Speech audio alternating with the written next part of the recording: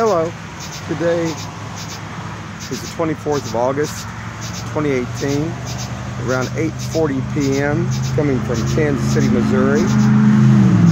Tonight what I want to talk about a little bit is I've done some more of those glyphs that I've been seeing, symbols that I tell you I can see through my eyes that I think are kind of like star charts or constellations.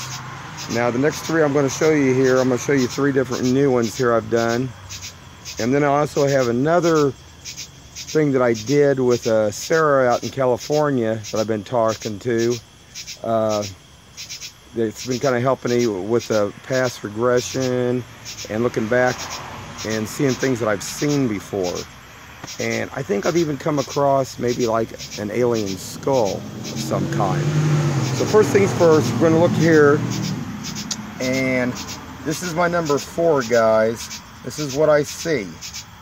I see like I said I see a couple hundreds of these and they repeat over and over again. And they're pretty like I say it, it takes a while to do them because they do move when I'm seeing them they float around like in a I don't know how to explain it. They just they float.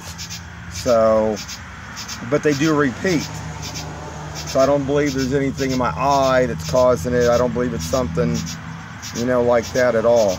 I believe I believe I'm actually seeing these. So this is number four. We're gonna go to number five. Now this one here is kind of wild. This thing, kind of like like it's reaching, its arms are reaching out. But this has got some kind of like loops here. They loop up to me they look almost like something it's almost like on a freeway ramp almost like a clover leaf or something. But um, that's my number five. And we're going to go on here to number six. That's number six. Almost kind of like a horseshoe. But with like four stars or planets And my last part, like I said, I've been working with a lady out there by the name of Sarah in California. And she's helped me.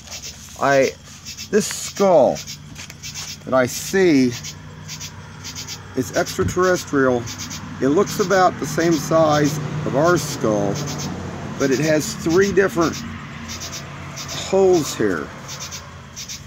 Now, I did a little bit of research on this, and I, I went looked medical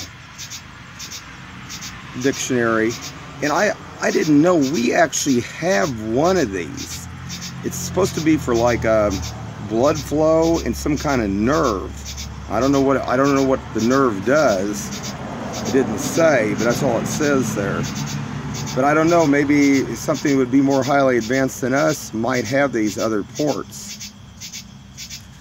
But that's what I seen in my vision working with her.